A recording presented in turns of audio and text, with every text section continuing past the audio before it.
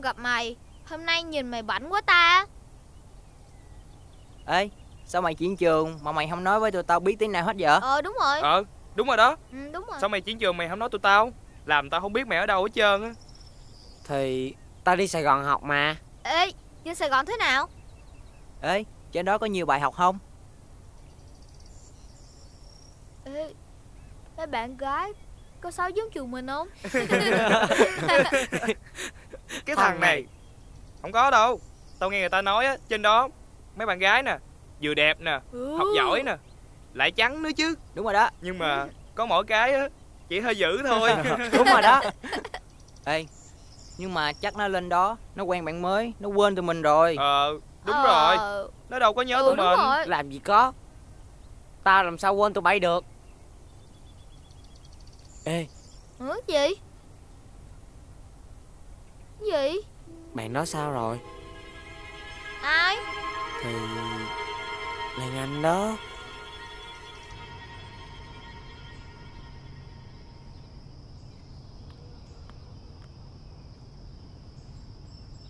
Ba chục ngàn.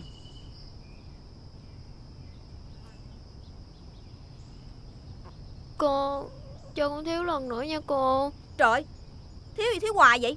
Nợ cũ chưa trả nữa giờ tới nợ mới Trả đủ hết đi tôi bán cho. tám lấy ba ký gạo đi tám. Dạ rồi đợi một chút.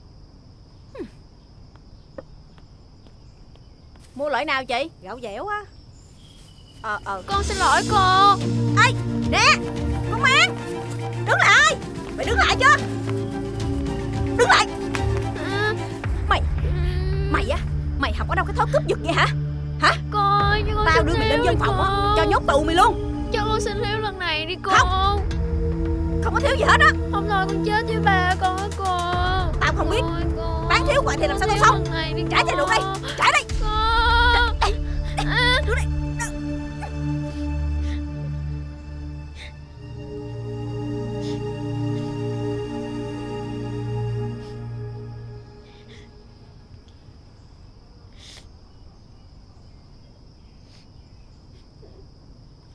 Thôi được rồi Bữa nay tao bán thiếu chai này nữa thôi đó. Dạ. Thôi đi về lẹ đi. Không là ổng đập nữa đó. Dạ cảm ơn cô. Về đi.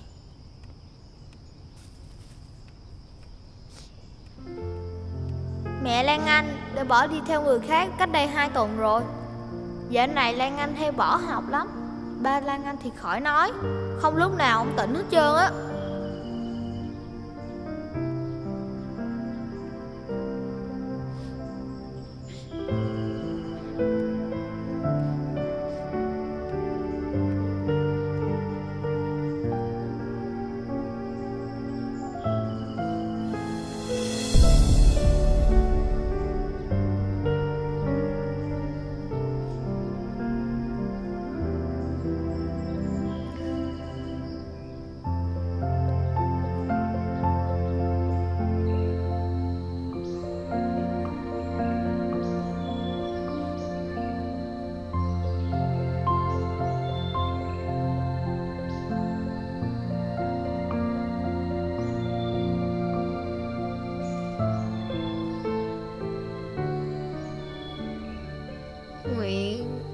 sống ở Sài Gòn Có quen chưa? ừ, cũng quen rồi Ừ. Ba của Nguyện có tốt không? cũng tốt nghe nói dạo này Lan Anh hay bỏ học lắm hả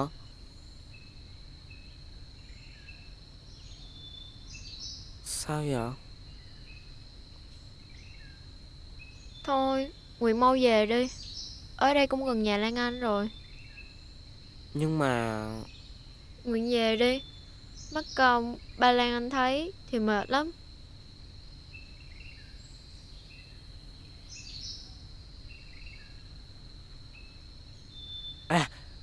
Cuối tuần sau Nguyện còn về đây nữa đó. Thiệt hả? Ừ Tụi mình còn cơ hội đi gặp nhau nữa mà ha. Ừ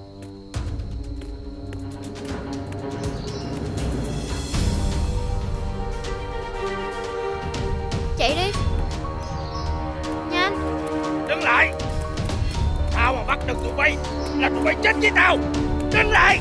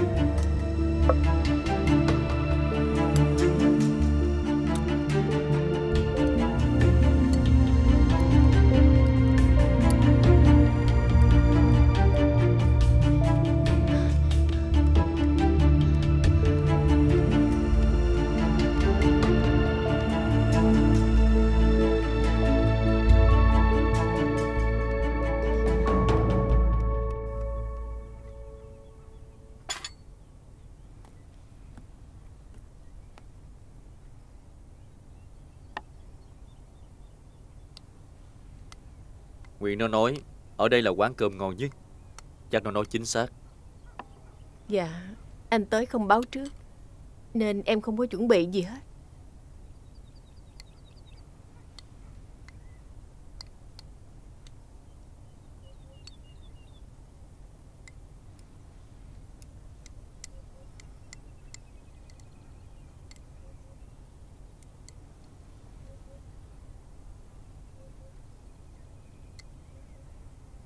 Ngon quá. Mọi thứ rất vừa khẩu vị. Hèn gì Thằng Nguyên nó tự hào về em lắm.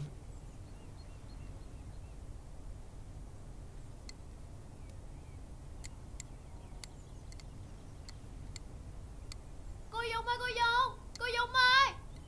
Cô Dung! Hình như là có chuyện gì. Anh cứ ăn đi Để đó em ra coi sao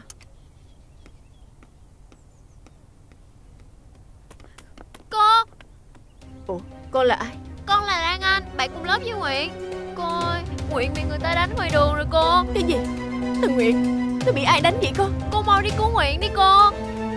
Trời. Ây da Mày ngon hả mày? Hôm nay tao sẽ giết chết mày. Hả? Chú thật là độc ác. Bộ ngày nào Chú cũng đánh Lan Anh như vậy hả? Rồi sao? Hả?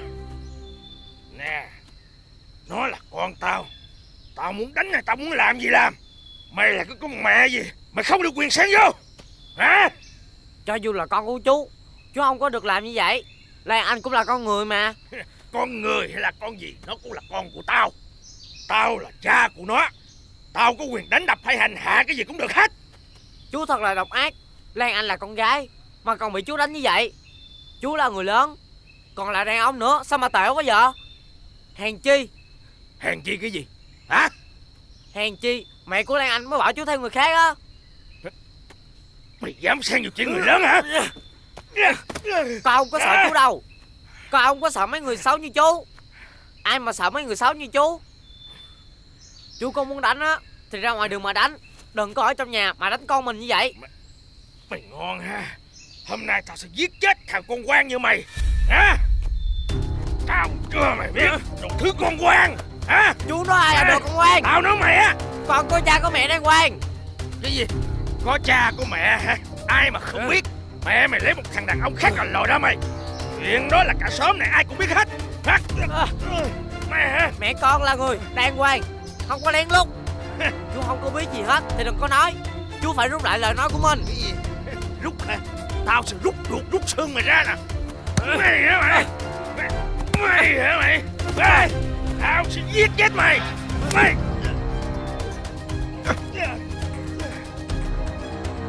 Mày là thằng nào mà dám xen vào chuyện của tao? Tôi là cha của thằng bé này. Anh không được quyền động vào con trai của tôi. Mày nghĩ là tao sợ mày hả? Hả? Nguyện Nguyện ơi! Mẹ. Trời.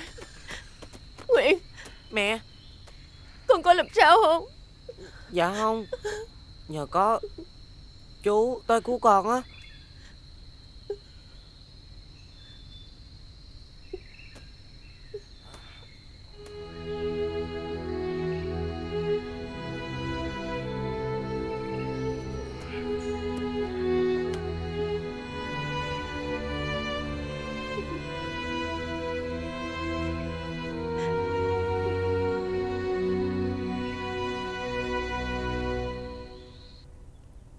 Trầy hết rồi.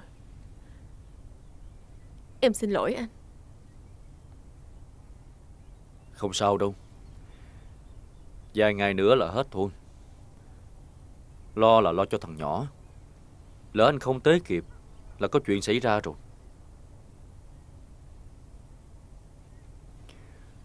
Con nhỏ mà mạnh mẽ lắm. Chắc gì nó giống em đó. Dạ không đâu. Thằng nhỏ Không phải giống em đâu. Em đâu có làm gì được cho nó.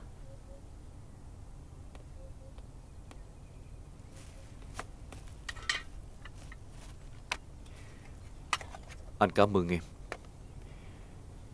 Em sống cực khổ như vậy Mà vẫn nuôi dạy con nên người. Anh đã quá vô tâm với em. Ừm, Chắc anh đói bụng rồi. Ờ, Lúc nãy anh Anh cũng ăn được gì nhiều đâu. Cơm canh cũng nguội rồi để em đi hâm lại. Anh Dung à. Ờ, Anh đợi chút xíu đi. Nhanh lắm Em làm nhanh lắm. Anh Dung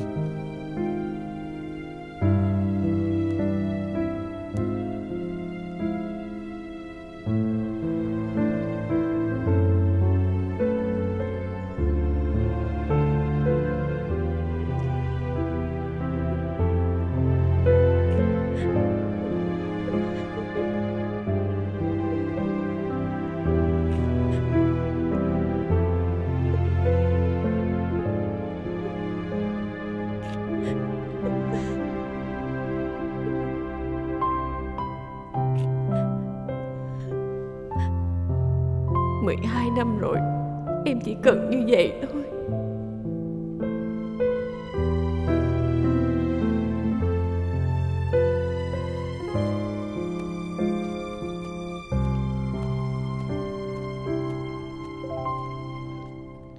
Tôi có tội gì mà mấy anh bắt tôi vô đây?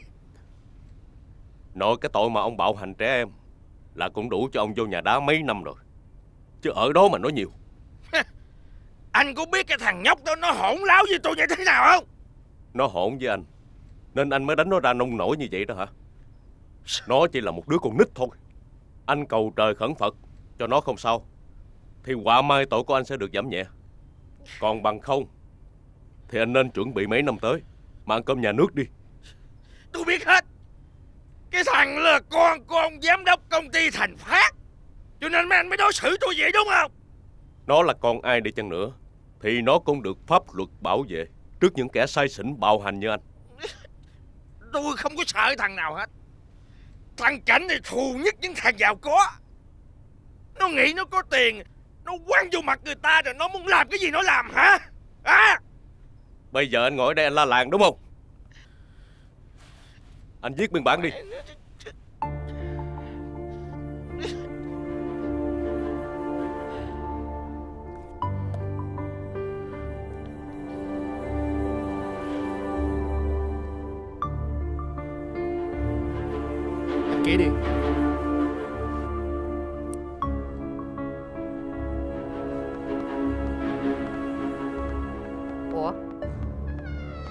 con về trễ quá vậy? Dạ tại vì à, có chút việc con phải giải quyết. Về có một mình hả? Còn thằng Nguyện đâu? Ờ dạ. Thằng nhỏ bị thương Cho nên con để nó ở lại với Dung rồi má. Nó Mà sao con làm cái gì mà quần áo dơ hầy vậy? Dạ con mệt quá. Con xin phép má con đi nghỉ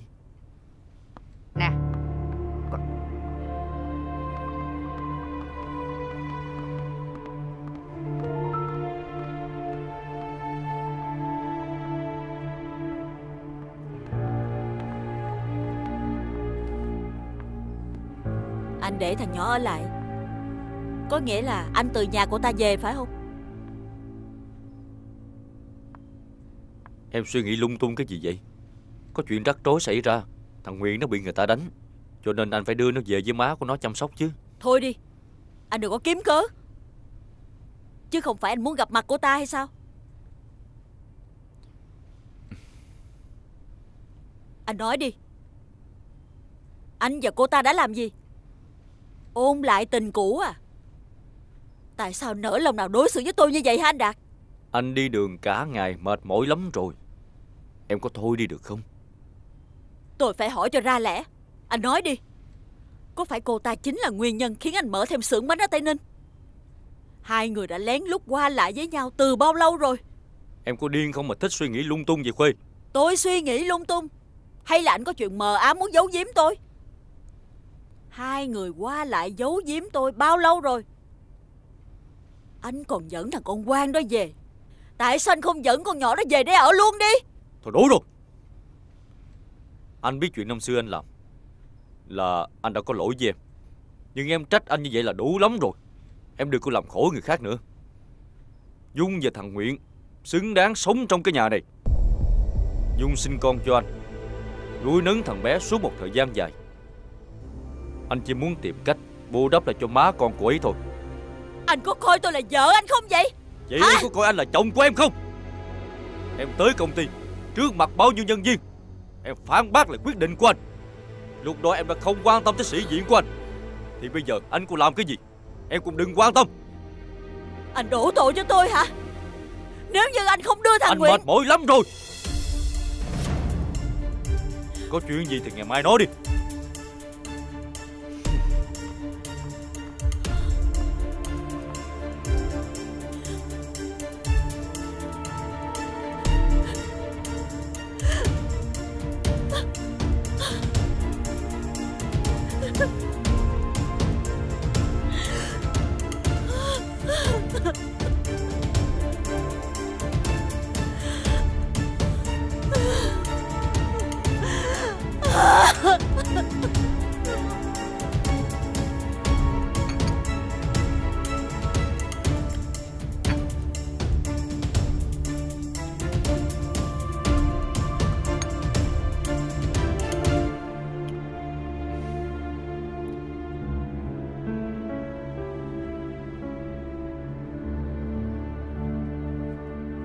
Làm sao mà nó bị thương vậy? Dạ con cũng không biết. Ờ Tại con chở trong xe Cho nên con không biết chuyện gì xảy ra. Mà anh Đạt có nói là do nó đi chơi Rồi gây chuyện với ai đó Sau đó bị người ta đánh. Bị đánh? Mà ai đánh nó? Dạ con cũng không biết. Đi chung. Mà cái gì cũng không biết. Là sao? Dạ Do anh Đạt không muốn con can thiệp vào chuyện riêng của ảnh Đi thăm xưởng. Mà cuối cùng lại ghé nhà con Dung. Là sao? Dạ Do thằng nhỏ nó đói Rồi nó dẫn về nhà của má nó. Vậy hả? Thôi được rồi Đi nghỉ đi. Dạ. Bác ngủ ngon Con xin phép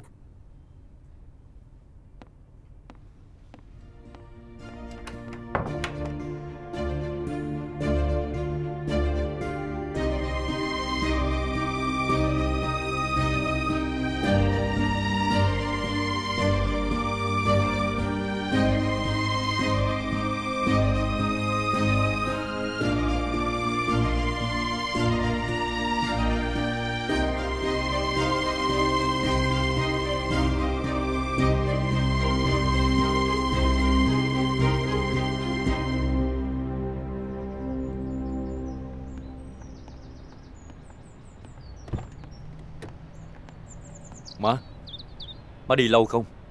Ừ. Ừ, Chắc tới chiều má mới về. Hay để con kêu chú Tài đưa má đi nha. Vì cái công ty Con kêu người khác làm cũng được. Thôi Để tài xế đưa má đi là được rồi. Để chú Tài chú làm công chuyện của chú. Dạ. Ủa má? Mà má đi chùa hả? Ờ. Con nhớ là hôm kia má mới đi mà Phải không? Ờ. Má hẹn mà. Đi với mấy bả Dạ Má đi cẩn thận nha.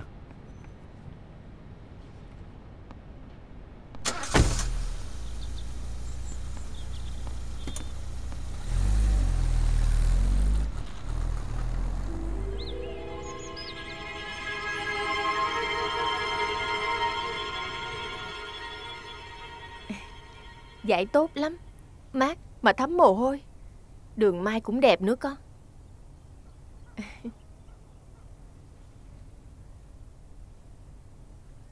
Con trai của mẹ mặc áo này. Đẹp trai trắng trẻo hẳn ra. Con của mẹ đẹp trai sẵn rồi. Ừ, Thì đẹp sẵn. Nhưng mà trắng trẻo có da có thịt sẽ đẹp hơn.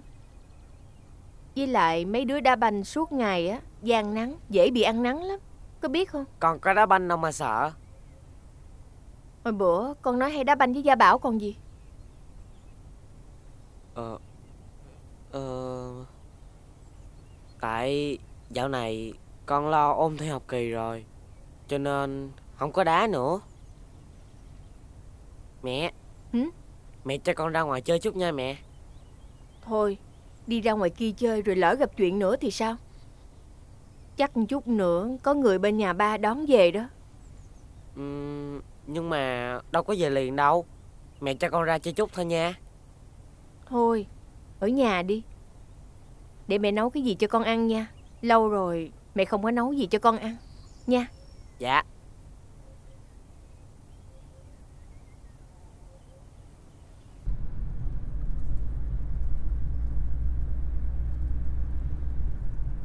Bà già đó đi đâu?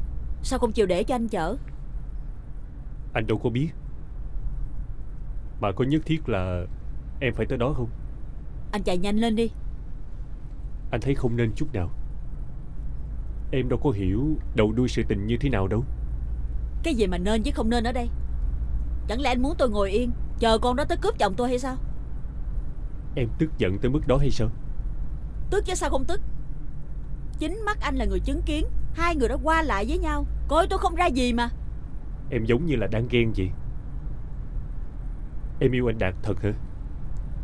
Anh chạy nhanh lên đi. Em chưa trả lời anh mà anh sao vậy? Không lẽ anh muốn tôi ngồi yên? Chịu nhục thì anh mới vừa lòng hay sao?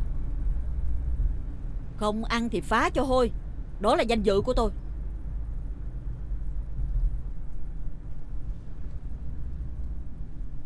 Anh chạy nhanh hơn nữa được không? Nhanh lên đi!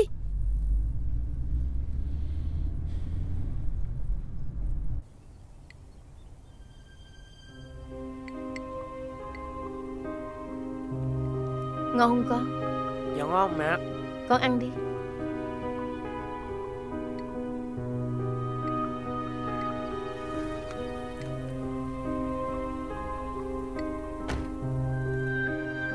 Ừ, Chắc có người tới đón con rồi đó. Chắc là chú á. Ờ, ờ, ờ, Dạ thưa bác Dạ con chào bác. Ờ, Dạ con chào bà. Ờ, Dạ dạ con mời bác ngồi. Ờ Nguyện à con vô con lấy nước cho bà nội uống đi. Dạ dạ. Ờ thôi để mẹ để mẹ đi. Thôi khỏi. Ừ, Con đi ra ngoài con chơi đi. Để bà nói chuyện với mẹ một chút nha. Dạ Dạ thưa bà con đi.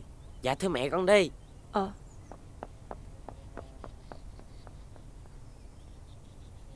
Ừm, Dạ con mời bác ngồi à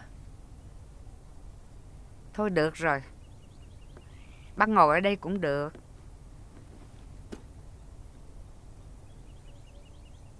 Con cũng ngồi xuống đi. Ờ dạ con lấy nước cho bác. Khỏi.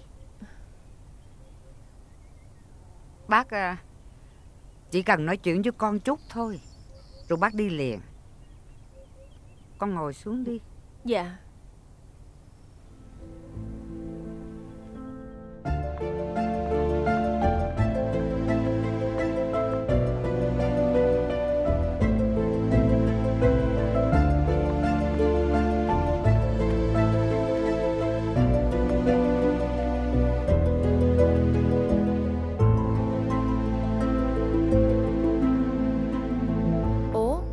về nữa hả? Ờ Chắc là lát nữa đó. Ba của Lan Anh sao rồi? Không sao đâu. Mấy chú công an ở đây Biết ba mình quá rồi mà. Lan Anh tính đi đâu vậy?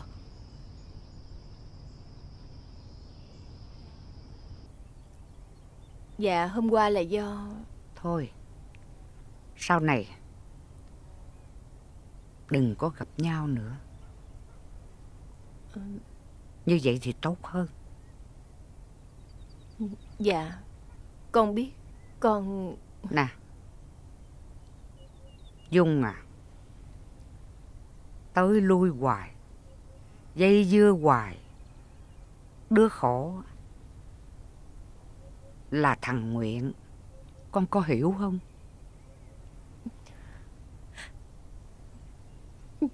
Dạ Con hiểu rồi Con cảm ơn bác đã nghĩ cho thằng Nguyện Đàn ông mà.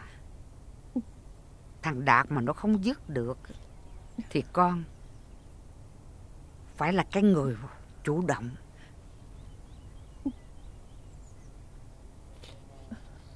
Dạ. Sau này nếu ảnh có tới đây Con cũng sẽ không gặp ảnh nữa Phải rồi. Dung nè.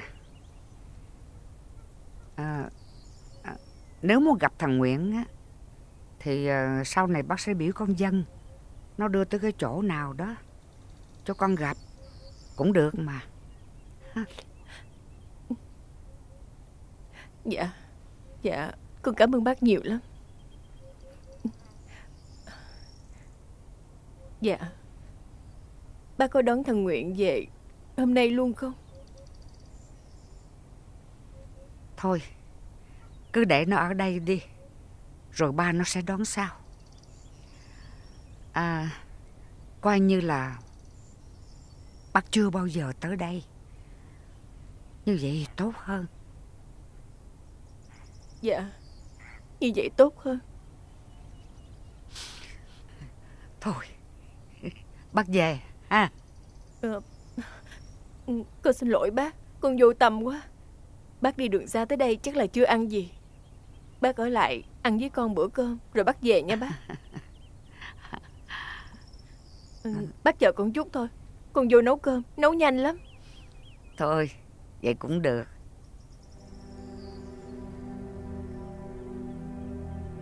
Sau này Ít có dịp nào ăn với nhau bữa cơm Ôi Nhắc mới nhớ À? 12 năm rồi. Bác cháu mình mới ăn với nhau bữa cơm nữa nè. Dạ Dạ.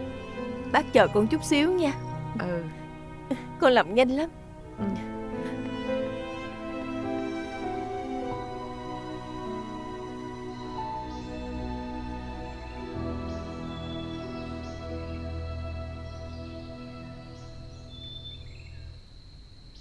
Hay là mình đi chợ luôn đi. Để lát nữa về trễ Lam bị la đó. Không sao. Bị đánh với bị la quen rồi. Lâu lâu mới có cơ hội gặp Nguyện mà. Không có đâu. Từ nay Cứ mỗi thứ bảy Mình xin về là sẽ được gặp Lan Anh hoài luôn á. Ráng lên. Chừng nào mình lớn Mình sẽ về đây ở với mẹ. Tụi mình sẽ được gặp nhau hoài luôn Khỏi xa xa nhau nữa nhưng mà Không biết Sau này Lan Anh có được ở đây nữa không? Có vẻ Ba Nguyện là người tốt hả? Có ba mẹ tốt, Thiệt là may mắn. Nguyện thiệt là may mắn mà. Nhưng mà Lan Anh có Nguyện là bạn tốt mà. Sau này lớn lên, Nguyện hứa Nguyện sẽ bảo vệ Lan Anh. Không có để cho ai hại Lan Anh nữa đâu. Sau này Nguyện tính làm gì? Nguyện cũng chưa biết nữa. Nhưng mà hôm nay Chú nói là Không Ba nói là Sẽ dạy cho Nguyện làm bánh. Nguyện mà biết cách làm rồi Nguyện sẽ làm cho Lan Anh Ăn đã đời luôn. Làm bánh hả? Ừ. Vậy còn Lan Anh Sau này Lan Anh muốn làm nghề gì Lan Anh muốn làm nghề gì có thật là nhiều tiền Lan Anh sẽ không bị coi thường nữa. Đã nói là Sau này Nguyện sẽ bảo vệ cho Lan Anh mà. Không có để ai đụng tới Lan Anh nữa đâu. Không biết sau này như thế nào. Nhưng mà dù sao Mình cũng sẽ bảo vệ cho Lan Anh. Mình muốn sau này lớn lên Về đây sống với mẹ Để cho ngày nào cũng được gặp Lan Anh hết á. Nói thiệt ông đó Đừng có ba xạo. Ba xạo thôi nào. Thôi, Bây giờ mình phải về rồi. Chắc là mẹ với bà cũng nói chuyện xong rồi. Thứ bảy tuần sau gặp lại nha. Nguyện nói với bà Sẽ dẫn Lan Anh vô sườn bánh coi. Ở trong đó có nhiều bánh ngon lắm á. Vậy nha. Thứ bảy gặp lại nha. Lan Anh không được buồn nữa đâu. Phải cười lên mới đẹp, Biết chưa?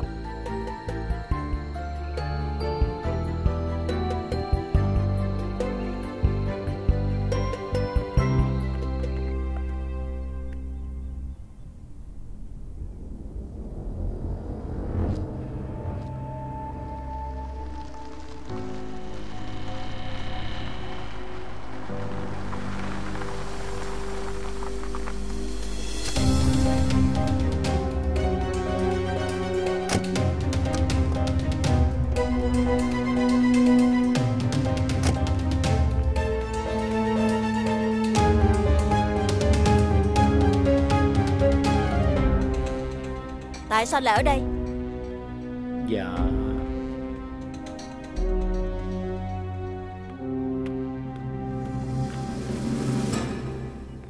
Dạ Cơm tới rồi đây bác. May quá Hôm nay con tìm được miếng thịt ngon quá Tươi lắm. À. Lại đây con. Ừ. Dạ chào chị Má Tại sao má lại làm như vậy? Má tới đây để làm cái gì? Má đi nhận con dâu hả? Cô tới đây làm gì? Chồng của con thì bị nó cướp. Bây giờ cả mẹ chồng cũng về phe nó. Chẳng lẽ con không có quyền tới đây để chỉ thẳng vô mặt nó hay sao? Nè Đang lớn tiếng với ai vậy? Hả? Mà cũng đúng thôi Chính má là người bao che cho họ suốt 12 năm trời. Có thôi đi không? Làm nhảm nó đi nó lại cái chuyện đó. Có ích lợi gì nè? Về nhà đi. Trước khi làm mất mặt của tôi. Chị ơi Em mong chị bình tĩnh lại. Em với anh Đạt từ lâu đã không còn gì với nhau nữa rồi. Hôm qua anh ghé đây Cũng chỉ là vô tình thôi. Vô tình hả? Cô dạy thằng con cô Lấy cớ về nhà thăm Để có cớ gặp lại ảnh thì đúng hơn. Đúng là mẹ nào con nấy. Đều giả dối như nhau. Im đi! Con không im! Nỗi nhục mà suốt mày hai năm trời con chịu như vậy là đủ rồi má. Bây giờ má muốn nhận nó làm dâu chứ gì? Má muốn đuổi con ra khỏi nhà hả? Má tính sao? Má nói ra hết luôn đi. Thiệt tình Nhà này thiệt là vô phúc quá mà. Chị à Không phải như vậy đâu. Chị đừng có nghĩ bác như vậy. Bữa nay bác tới Là kêu em đừng có gặp ảnh nữa. Thiệt đó chị. Sao? Cô định lừa ai nữa đây? Đúng là tôi điên. Tôi mới tin mấy người. Tôi điên Cho nên mới cho con của kẻ thù bước chân vô nhà Nhà thì nghèo rớt mồng tơi Mà bày đặt giả giọng thanh cao. Để tôi coi Đến khi nào mấy người mới lòi cái mặt chuột của mấy người ra? Không phải là lỗi của mẹ Là con dẫn ba tới đây thiệt. Con không được chữa mẹ con như vậy. Nguyễn Chuyện người lớn không được nói leo. Thưa chị Chị đừng có hiểu lầm em Với lại thằng Nguyện Hai mẹ con em không có ý gì hết. Nguyện Để con xuống đó đi Vô chuẩn bị đồ Ba nấu nước con về.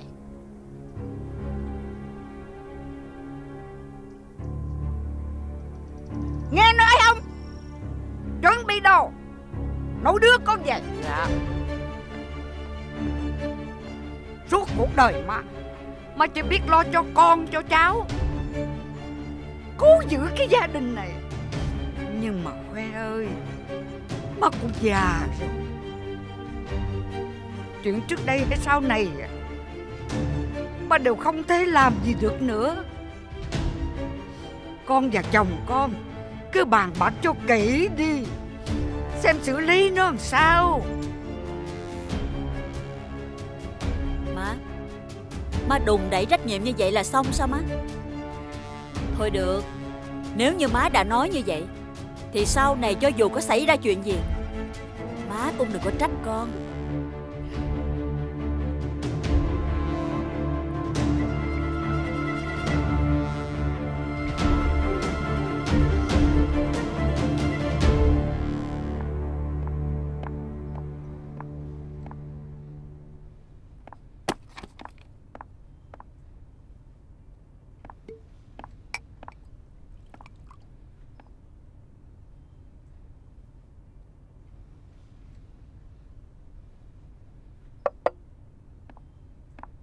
Anh có biết hôm nay tôi đã đi đâu hay không? Tôi tới gặp mẹ con cô ta Và điều buồn cười nhất là tôi gặp má anh ở đó Anh có thấy một sự trùng hợp ngẫu nhiên hay không? Tôi không ngờ Bà già đó bà lại cao tay hơn tôi tưởng nhiều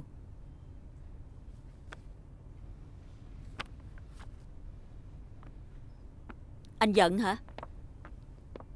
Anh giận vì tôi đã nói má anh như vậy sao? Tôi có thể nói nhiều hơn như vậy nữa kìa. Má con anh có bao giờ tôn trọng tôi đâu mà bắt tôi phải tôn trọng mấy người chứ. Nhà này còn có gia phong nề nếp. Anh không cho phép em xúc phạm tới má. Chừng nào anh còn ở đây, Anh không cho phép em xúc phạm tới má. Còn nữa, Chuyện của Dung và thằng Nguyện Anh biết sự trí như thế nào? Em đừng tìm gặp và làm khó họ nữa. Em biết tính anh rồi đó. Có những chuyện anh không bao giờ tha thứ đâu.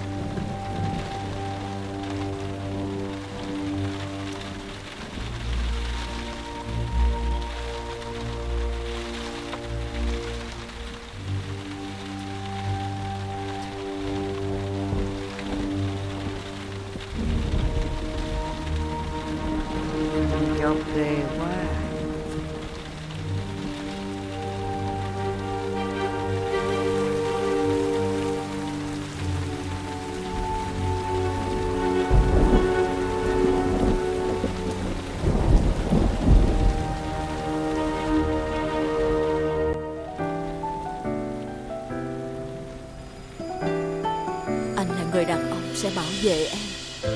Khỏi những đau khổ Là cha của con trai em. Hai đứa mày Giang phu dâm phụ. Tao thật không ngờ. Không, má hiểu lầm rồi má. Mày câm miệng đi. Thằng Bảo là con của ai? Tao tuyệt đối không để yên cho tụi bay đâu. Chị Vân ơi. Chị Vân ơi chị Vân Dạ. Chị có thấy má tôi đâu không vậy? Thấy cậu. Má tôi đi đâu rồi ta? Tôi tìm trong phòng không có. Một người sống Bây giờ chị đi ra ngoài giường tìm giúp tôi đi. Dạ vẫn dạ. gọi tên tôi. Chẳng hứa gì chỉ Má ơi, má! mãi mãi Má! một người sẽ Má ơi! luôn bên tôi.